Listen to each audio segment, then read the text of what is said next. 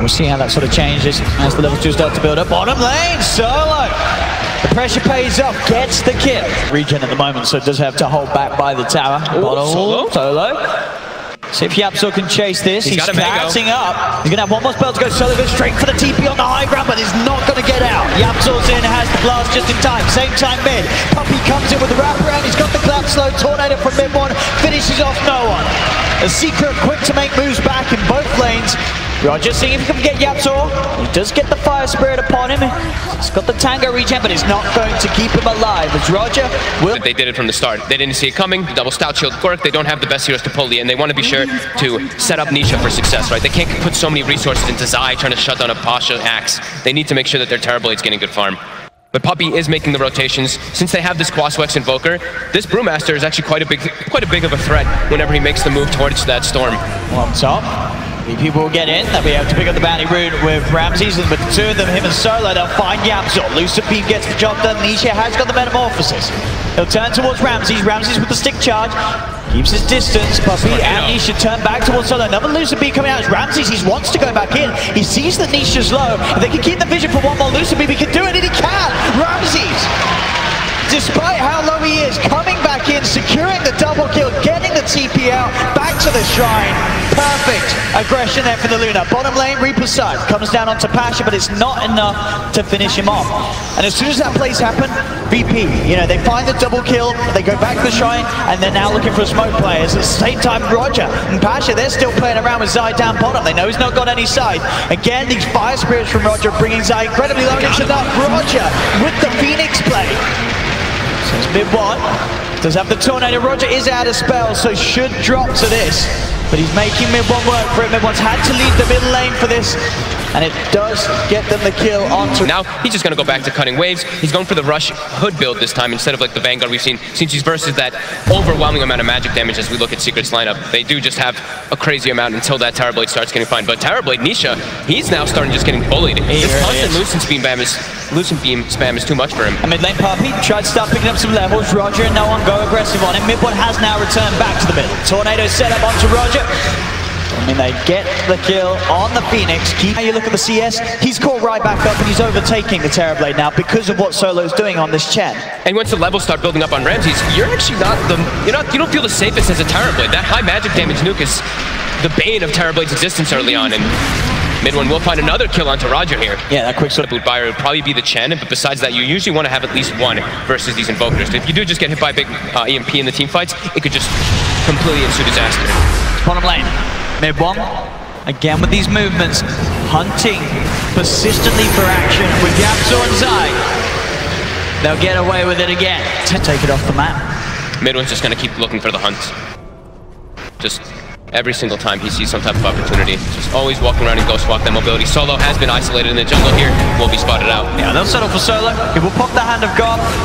And no way he can escape as they'll take Solo and they'll take his creeps as well. To send no one back to home. He Roger's there, it. but indeed the Dispel comes out. So the send home's not going to be there in time. Puppey bringing in the rest of the Primal Split Brutalies to surround him. Punch him down with the stun. They're moving in. No one's got a little bit of mana to keep the distance now. Puppey is left back. The clap won't Tornado. connect with the tornado.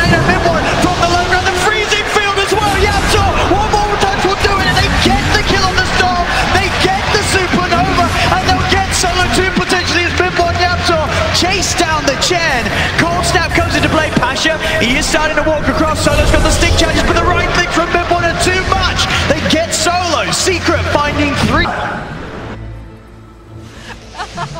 As we'll see this again. Mid one's Cold snap from the low ground, so he gets the follow-up disable. No one goes out, but look at this. Look the at this long-range tornado. And he just hits the two of them. Beautiful. Sets up for the freezing field, and they have three heroes isolating around an egg. And it's just a Chen. Chen can't really help too much there. They needed Pasha a bit sooner, but he just had picked up that blink dagger. As in the real game, Zai able to find two kills. He actually finds a huge one onto Ram. That is such a long time where the Terrorblade's allowed to actually now move his way up that Luna's farm. Because Ramses was about a thousand gold ahead of him before he did die. They really want to try and get Zai. It's such a big kill. It'll be worth a heck of a lot if they can. Supernova's being committed for this one as well. They'll zip it. They'll take Zai and they'll get Yapzor as well. VP able to strike back against the pressure the Secret have been applying for the most part of this early stage of the game. Getting Zai. That's, that's a big kill to find. As Zai, as we say, he was he's done three games so far. Now Secret. They're ready to continue this fight, keep it going. The Primal splits out from Puppey. Solo having to back up. A little bit of a heal comes through from Roger. But the Bru Brewlings focusing down onto Solo. And he escaped another earn heal, keeping Solo alive. Mid one does have to go sword because no one made the zip straight towards him. Ramsey's there as well. They'll get the call, the control straight onto Puppey as the Brew, Brew Primal split and that fight going as they get those two extra kills. The top tier one tower does get taken meanwhile by Nisha. Pasha tries to come in to defend, but with the metamorphosis up, it's a little too much for Pasha to deal with. Once Roger will be left behind. He's looking for it. No point messing around with the Fog Wiki, just for Tornado. Top lane with a freezing field. Not only will they get a tower, they'll get Pasha as well. And Nisha finally... He's bringing us on the Necrophosson. Solo in a lot of trouble here. Mid one he just knows, waiting and he knows he's spooked. He'll wait. Make Solo use the dust. So that's an extra bit of a win. A consumable down and a life as well. Even an ult. As they'll find Solo and line straight towards the bottom to push it out. Secret, they're going to get away with this one absolutely free. VP, the, uh, the, what it tells me is like they use that Chen heal because they're just like, all right, we're just going to try to play the farm game. But Puppey, he's invis on top of Ramsey. He's ready to start off a fight. And Deep Ramsey's in trouble. The Spirit Vessel down onto him. Yapso's got the disable with the Frostbite, and that's Shikari gone. So not only He's- they're able to sweep into this jungle, He needs to have a BKB before they can even try to take any type of fight. He's very close. secret. Yeah. But maybe not close enough. Secret start to poke at Roger. Reflection as well being used as they'll Gets chase across the tree line again. Cold snaps onto him. Roger. He'll let himself die. Doesn't want to waste the supernova. Knows that he has to keep that for the high ground, but he's out of the game for 40 seconds. They've Straight away. meta. They're going up on high ground. Puppey's not there though. Puppey's decided to TP top to, to hold off the defense, make sure they don't lose a tier one. A quick call from Pasha trying to pull Nisha's attention away from these mid lane racks, tier threes.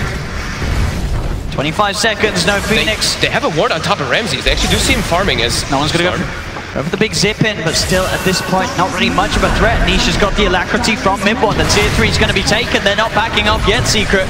Still having the Aegis for two minutes on Nisha. They're feeling incredibly confident. Ramses has the BKB now. He TP's back. He's going to pick it up. This is where VP's going to try to take a fight. As soon as their Phoenix is up, they have to try to commit forward before they lose this Rax.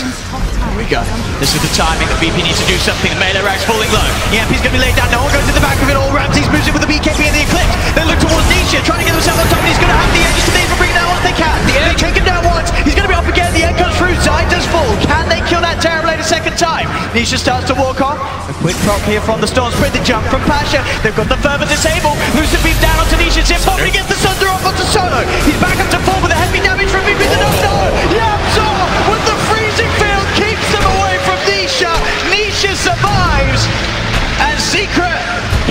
actually finish off the racks? Oh, no one They're gets Nisha. in. No one does him straight back into the phrase. Done with just Sheet Nisha. He gets Yapzor as well.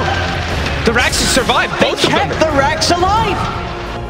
Even though Secret was somehow able to take that, that initial fight before some of the buybacks come in from Pasha, no one's able to perfectly time the call through the immunity whilst he's low. Try and outplay him. Make sure that he doesn't find the opportunity to cast Asunder.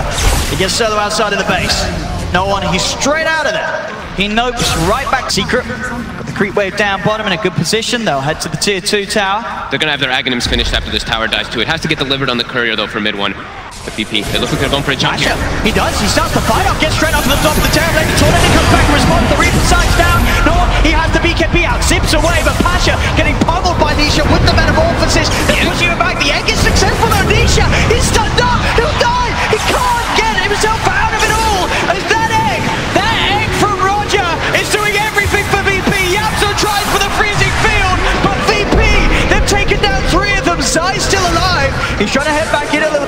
Shroud, he knows that some of VP are really low, but Pasha comes back in oh with Oh my the call, Mid one, Mid he's was hit. still trying to fight this, he'll get Ramses, he's looking towards Pasha, maybe he can get a few of these kills, and Pasha hiding in the trees, Mid one alacrity'd up, he'll go for a TP away, he's Gets not gonna make it out though, as Pasha comes back in. Stone. It's 2,500 HP with 10 armor. Yeah. Pretty hard to actually shred through. It's. It's fine solo. I think Solo's getting out of this one. Secret. Commit the Reaper. He's down for a very long time on that chance. it takes away something the Secret would have for the push. But Secret, of course, they keep their cool. They know that they don't need to be worried about that sort of quick zip, and they're ready to push. Metamorphosis is up on Nisha. Got Glyph this time. Without Solo for 45. The brew split immediately by Puppey. He's not trying to mess around. He doesn't want to get caught out, but he has to watch out. His Brewlings can die to the Luna Glaze. Pasha has got the call to control the two of them. Frostbite's down into Pasha. Nisha focusing the barracks. They'll jump in with the Vortex. Glimmer Cape keeps Nisha safe. He's still got half of his health full available, and they will get away with the mid-rack this time. They take the melee Ooh. and the raid. Nisha actually... Sundered his own illusion when not, it was the, low. not the ideal Sunder. Doesn't really change his HP at all.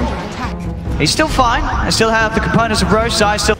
Just all that magic resistance he's trying to buff up for his All team right. versus this Necrophos and all the magic damage that comes out from Secret. Different approach. Down the mid lane they go. Secret. They start to play around with Pasha. Tornado does hold back the axe. The illusions from Ramses beating down onto the tier 1 tab. He's out of mana. We're top at the top. Yeah, no one. Uh, Pasha's not going to be able to jump in without that mana. As now VP starts to back away. They may have to leave Pasha for this one. He's popping the BKB. They're still trying to poker this. No one zips in, zips out. VP still very much wanting to get themselves out of this. Again, Solo, they'll be the one left behind. VP managed to get everyone else. I still see him change it up, but this could actually be a good way to control versus that side of Secret. Just that follow-up that they seem to need, and also very good follow-up for the Supernova to help him. Already, Roger's been caught on the front. He gets the Supernova on Pasha. He has the call to save with the Invoker. He's trying to take down the Supernova. Supernova. BKB and Metamorphosis pop by Nisha. And they'll turn towards no one. No one's able to. BKB and zip away from Ramses. Caught in the middle of it. They've lost the Luna. They're going to lose Pasha as well as he's trapped in the trees. VP trying in almost a show of desperation to come out with an aggressive play and they just can't. They bring down their pretty much their, their biggest form of initiation and way of starting the fights and there's no supernova. And there's no Supernova, exactly. It just seems so difficult for VP to actually take the control in the fights and not allow oh, them to kill the egg. Only on. one He target. turns fine, Oh, everyone but he bites alone. him. Okay. Well, that's... Pasha is... Pasha's also at 7, so still relatively high, but smoke on smoke battle. For the third time, VP will contest Roach. They're heading over, jump in from Pasha, they're looking towards side. Side never yields up, Bravo Let's Spit go. is going to be successful. Ramsey's coming in with a BKB and the Eclipse of Supernova's down, and Nisha with a BKB focuses the egg. The egg's going to be taken out, and with the Metamorphosis, he turns towards Ramses. Yapzor still kept alive, but the Reaper Sights down, bringing Ramses low. Oh Ramses will fall. They'll look to Pasha. Pasha actually able to blink out. Somehow being able to blink away, but Puppey is on top of with the remaining time of the primal split. They get Pasha as well. I mean, Zai and Puppey leading the charge. And Gigi's it. gone. Wow. GG's, there's no Luna, there's no buyback. Nope. No buyback on the Luna, no buyback on the Axe, no buyback on the Phoenix. They cannot deal with this game. VP is secret. Take game one. I mean, Zai and Puppey, they just walk in